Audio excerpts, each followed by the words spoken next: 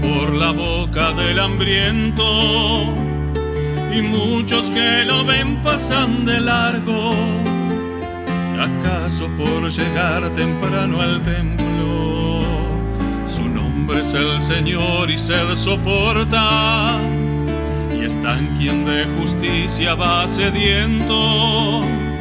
Y muchos que lo ven pasan de largo, veces ocupados en sus rezos. Con nosotros está y no le conocemos, con nosotros está. Su nombre es el Señor, con nosotros está y no le conocemos, con nosotros está. Su nombre es el Señor. En el nombre del Padre y del Hijo y del Espíritu Santo. Amén. Que la gracia y la paz de Jesucristo el Señor esté con ustedes. Y con tu espíritu. Dispongamos el corazón para poder celebrar dignamente estos sagrados misterios.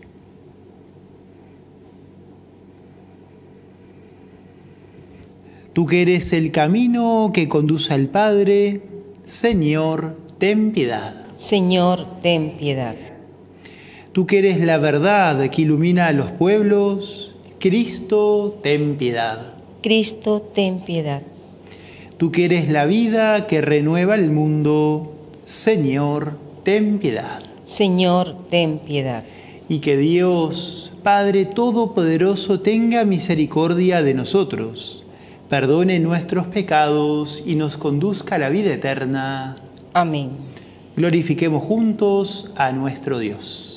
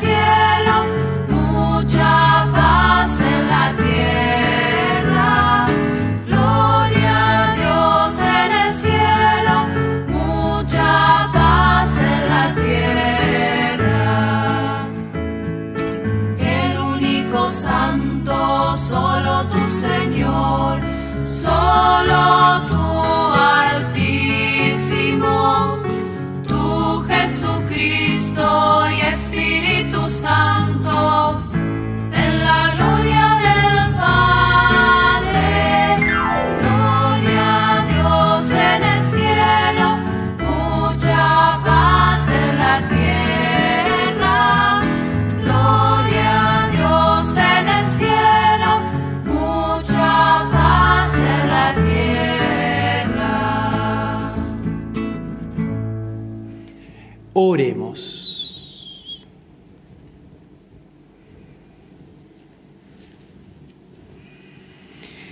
Señor Dios, que iluminas a los extraviados con la luz de tu verdad, para que puedan volver al buen camino, danos a quienes hacemos profesión de cristianos la gracia de rechazar todo lo que se opone a este nombre y comprometernos con todas sus exigencias Por nuestro Señor Jesucristo, tu Hijo, que vive y reina contigo en la unidad del Espíritu Santo y es Dios, por los siglos de los siglos. Amén. Lectura de la profecía de Amós.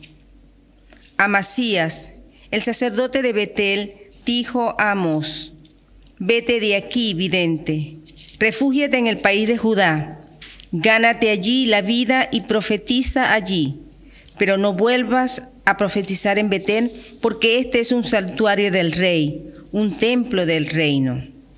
Amós respondió a Amasías, yo no soy profeta ni hijo de profetas, sino pastor y cultivador de sicómoros. Pero el Señor me sacó de detrás del, rebaño y me dijo, ve a profetizar a mi pueblo Israel. Palabra de Dios. Te alabamos, Señor. Señor. Muéstranos, Señor, tu misericordia y danos tu salvación. Muéstranos, Señor, tu misericordia y danos tu salvación. Voy a proclamar lo que dice el Señor. El Señor promete la paz para su pueblo y sus amigos. Su salvación está muy cerca de sus fieles y la gloria habitará en nuestra tierra. Muéstranos, Señor, tu, misericordia y danos tu salvación. El amor y la verdad se encontrarán la justicia y la paz se abrazarán, la verdad brotará de la tierra y la justicia mirará desde el cielo. Muéstranos, Señor, tu misericordia y danos tu salvación. El mismo Señor nos dará sus bienes y nuestra tierra producirá sus frutos. La justicia irá delante de él y la paz sobre la huella de sus pasos. Muéstranos, Señor, tu misericordia y danos tu salvación. Lectura del apóstol San Pablo a los cristianos de Éfeso. Bendito sea Dios, el Padre de nuestro Señor Jesucristo, que nos ha bendecido en Cristo con toda clase de bienes espirituales en el cielo y nos ha elegido en Él antes de la creación del mundo para que fuéramos santos e irreprochables en su presencia por el amor. Él nos predestinó a ser sus hijos adoptivos por medio de Jesucristo, conforme al beneplácito de su voluntad, para alabanza de la gloria de su gracia que nos dio en su Hijo muy querido.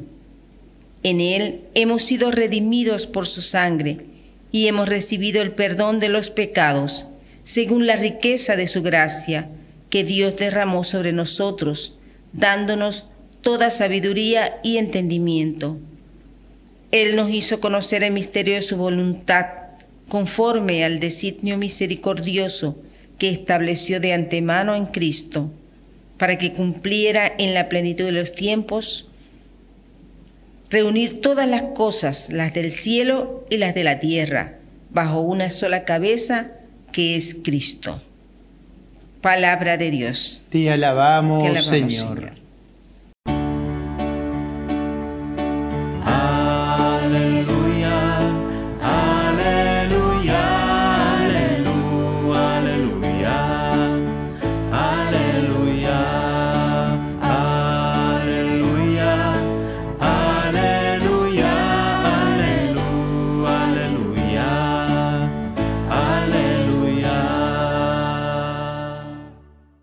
El Señor esté con ustedes. Y con tu espíritu.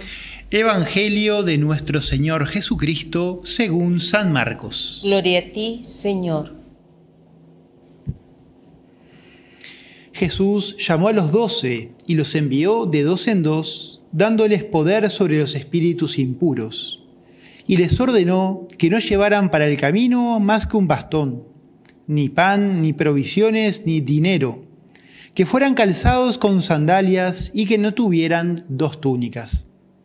Les dijo, permanezcan en la casa donde les den alojamiento hasta el momento de partir. Si no los reciben en un lugar y la gente no los escucha, al salir de allí, sacudan hasta el polvo de sus pies en testimonio contra ellos. Entonces fueron a predicar, exhortando a la conversión expulsaron a muchos demonios y sanaron a numerosos enfermos, ungiéndolos con óleo. Palabra del Señor. Gloria a ti, Señor Jesús. Queridos hermanos, celebrando ya este domingo decimoquinto del tiempo durante el año, la liturgia de la iglesia nos invita a escuchar, a meditar y a contemplar este hermoso evangelio, uno de los tantos que nos narra el envío, el envío que Jesús hace a sus discípulos. En este caso a los doce, pero sabemos que en otras oportunidades envía a 72 de sus discípulos. Por tanto, en primer lugar, hoy el Evangelio nos invita a descubrir, o mejor dicho, a redescubrir, que la misión en la iglesia no está reducida o simplemente dirigida a los obispos, sacerdotes, religiosos, sino que el llamado a la misión, el envío que Jesús nos hace, es para todos. Para cada uno de sus discípulos, Él los ha llamado para estar con Él y para poder enviarlos en su nombre, para que puedan continuar obrando y anunciando la salvación. Y de, de este Evangelio concretamente, hoy me detendría simplemente en dos pequeños elementos para compartir con ustedes. En primer lugar, destacar que Jesús los envió de dos en dos. No, se, los envió cada uno por su cuenta, pensando quizás por ahí con mentalidad utilitarista o empresarial. Bueno, cuantos más los disperse, a más lugares llegaré y por tanto más escucharán la palabra. No, no, no, sino que por el contrario, los envía de dos en dos. Y esto no es solamente para que puedan acompañarse, sostenerse y apoyarse en la vivencia de la fe y la vivencia de la misión, que por supuesto que sí, sino también principalmente, como se lo he escuchado a algunos biblistas entendidos, es que los envía de dos en dos para que con el mismo testimonio de vida fraterna puedan ir dando anuncio del Evangelio de Cristo. Este testimonio de una llamada a una vida nueva. Y esa vida nueva ya se va descubriendo en cómo se tratan los discípulos del Señor, cómo viven la fraternidad en el amor los discípulos del Señor. Y eso es lo que de alguna manera ya de hace unas cuantas décadas, pero especialmente en nuestros días, es lo que hace falta, que la sociedad pueda ir descubriendo cómo nos amamos entre los cristianos.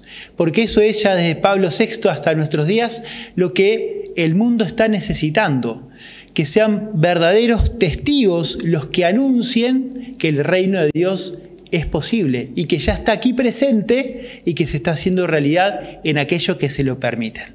Por eso, en primer lugar, el Señor envía de dos en dos. ¿Y para qué? Para que puedan predicar exhortando a la conversión. Qué importante es que, en primer lugar, nosotros mismos, cristianos, podamos continuar viviendo, profundizando y descubriendo la manera en crecer en conversión, o sea, volver el corazón y la mente a Jesucristo, una y otra vez. Que, que toda nuestra vida, nuestros esquemas, que todo nuestro ser vuelva cada vez al Señor y se deje transformar totalmente por Él, para después sí poder salir a anunciar, a predicar y exhortar a la conversión. Y especialmente pienso yo Hoy en día estamos llamados a predicar, exhortando a la conversión a nuestros hermanos cristianos, tantos hermanos nuestros en nuestras familias, entre nuestros grupos de amigos, en nuestros lugares de trabajo, en el barrio, tantos cristianos, discípulos del Señor que quizás por un factor o por otro se han ido alejando de la vivencia de la fe se han ido alejando también de la vivencia del ser iglesia.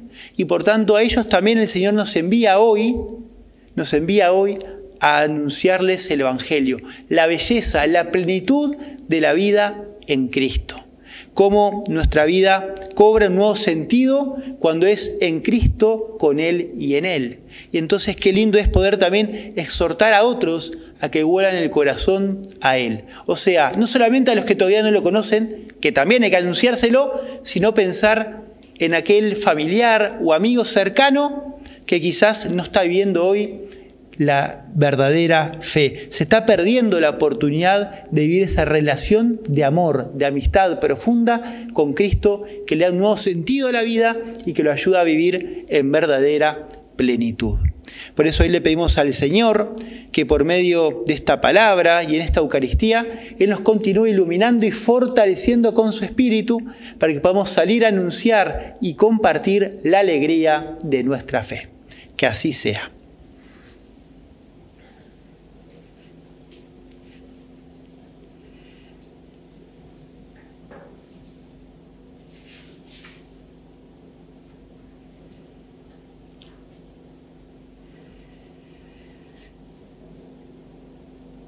Los invito ahora a renovar nuestra fe profesando juntos.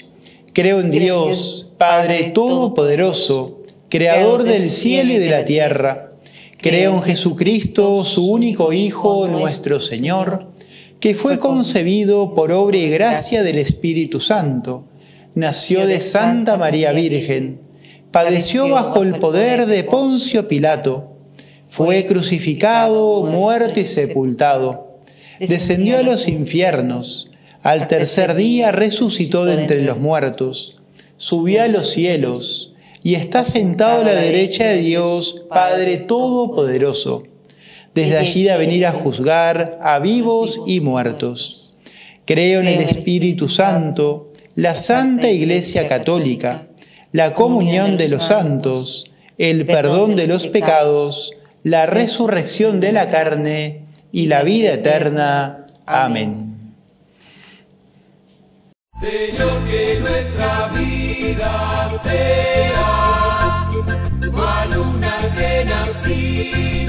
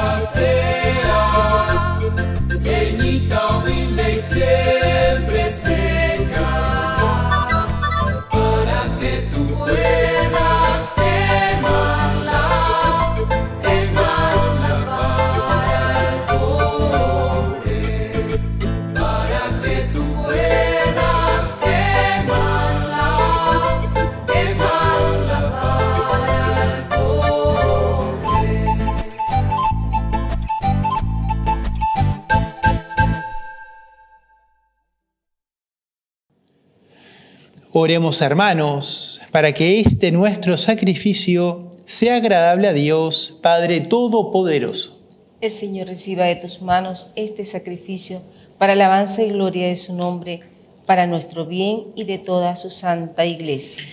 Señor y Dios nuestro, mira con bondad los dones de tu iglesia en oración y concede que al recibirlos se acreciente la santidad de los creyentes. Por Jesucristo nuestro Señor. El Señor esté con Y ustedes. con tu espíritu Levantemos el corazón. lo tenemos levantado hacia el Señor. Demos gracias al Señor nuestro Dios. Es justo y necesario. En verdad, es justo bendecirte y darte gracias, Padre Santo, fuente de la verdad y de la vida, porque nos has convocado en tu casa en este día de fiesta. Hoy tu familia, reunida en la escucha de tu palabra y en la comunión del pan único y partido, celebra el memorial del Señor resucitado, mientras espera el domingo sin ocaso, en el que la humanidad entrará en tu descanso entonces podremos contemplar tu rostro y alabar para siempre tu misericordia. Con esta alegre esperanza y unidos a los ángeles y a los santos, cantamos unánimes el himno de tu gloria.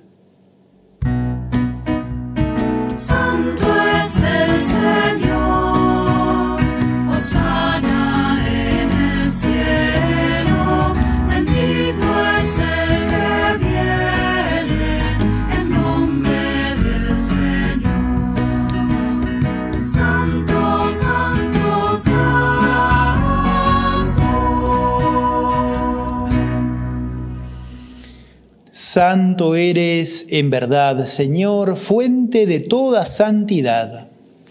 Por eso te pedimos que santifiques estos dones con la efusión de tu Espíritu, de manera que se conviertan para nosotros en el cuerpo y la sangre de Jesucristo nuestro Señor. Él mismo, cuando iba a ser entregado a su pasión voluntariamente aceptada, tomó pan, dándote gracias, lo partió y lo dio a sus discípulos diciendo, tomen y coman todos de él, porque esto es mi cuerpo que será entregado por ustedes.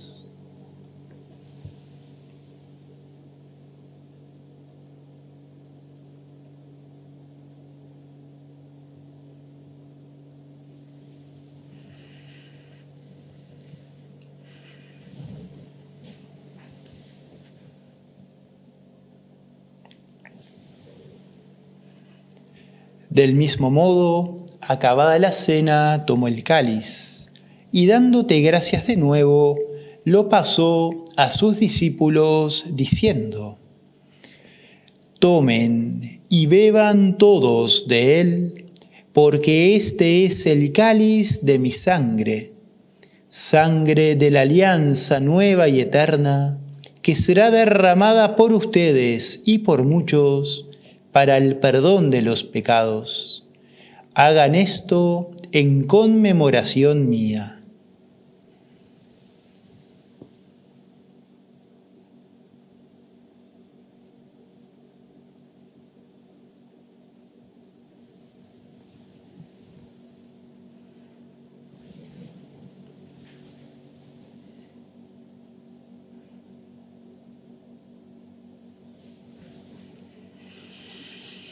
Este es el sacramento de nuestra fe. Anunciamos tu muerte, proclamamos tu resurrección. Ven, Señor Jesús. Así, Padre, al celebrar ahora el memorial de la muerte y resurrección de tu Hijo, te ofrecemos el pan de vida y el cáliz de salvación, y te damos gracias, porque nos haces dignos de servirte en tu presencia. Te pedimos humildemente que el Espíritu Santo congregue en la unidad a cuantos participamos del cuerpo y la sangre de Cristo. Acuérdate, Señor, de tu iglesia extendida por toda la tierra y reunida aquí en el domingo, día en que Cristo ha vencido la muerte y nos ha hecho partícipes de su vida inmortal. Y con el Papa Francisco, con nuestro obispo Daniel, y todos los pastores que cuidan de tu pueblo, llévala a su perfección por la caridad. Acuérdate también de nuestros hermanos que se durmieron en la esperanza de la resurrección, y de todos los que han muerto en tu misericordia, admítelos a contemplar la luz de tu rostro. Ten misericordia de todos nosotros y así con María, la Virgen Madre de Dios, su esposo San José, los apóstoles y cuantos vivieron en tu amistad a través de los tiempos, merezcamos por tu Hijo Jesucristo compartir la vida eterna y cantar tus alabanzas.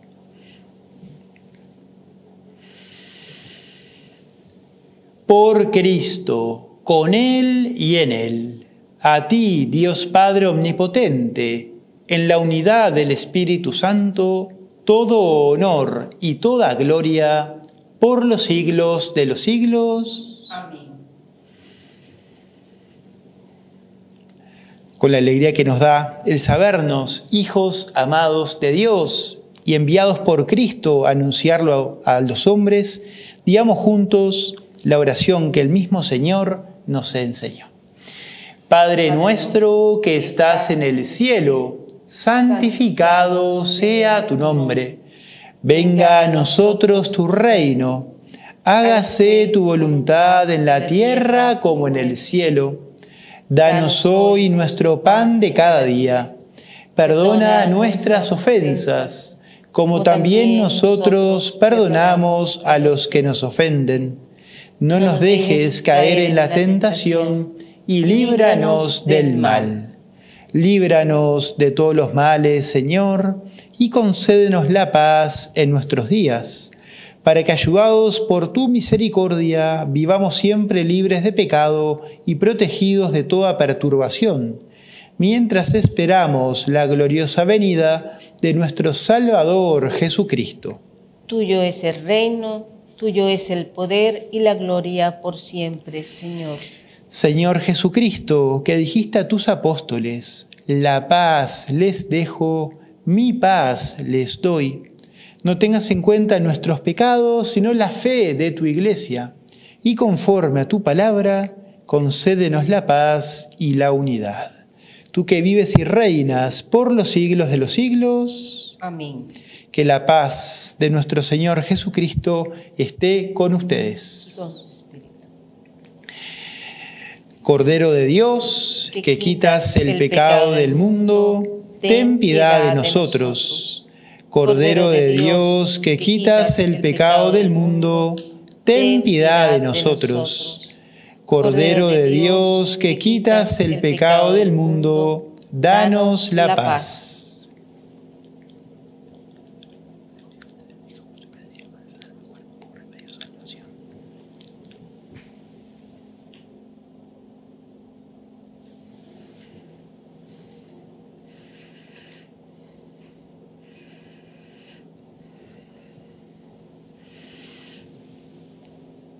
Este es Jesús, el Cordero de Dios que quita el pecado del mundo. Felices los invitados a la mesa del Señor. Señor, no soy digno de que entres en mi casa, pero una palabra tuya bastará para sanarme.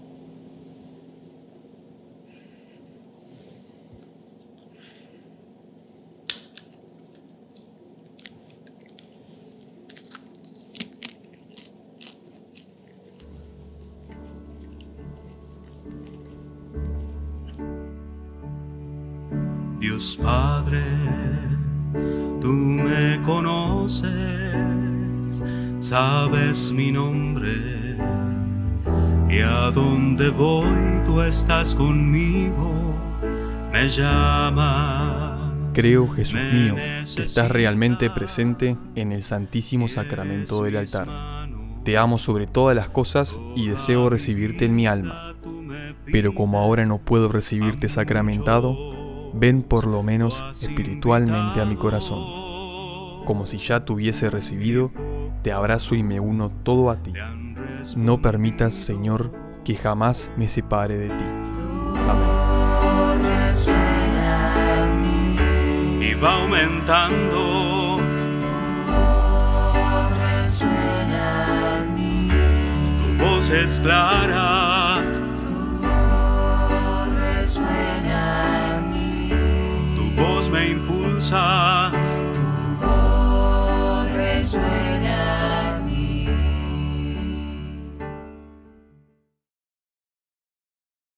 Oremos.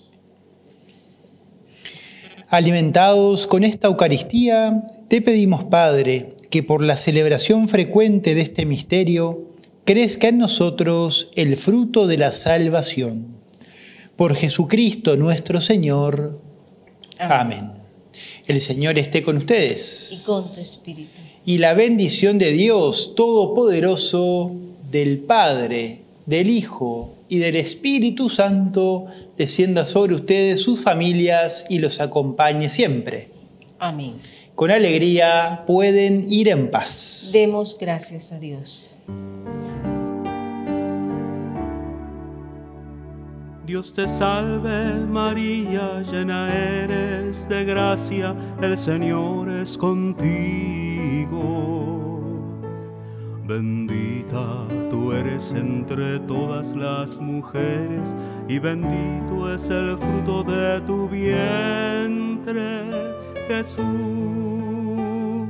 Santa María, Madre de Dios, ruega por nosotros pecadores, ahora y en la hora de nuestra muerte. Amén.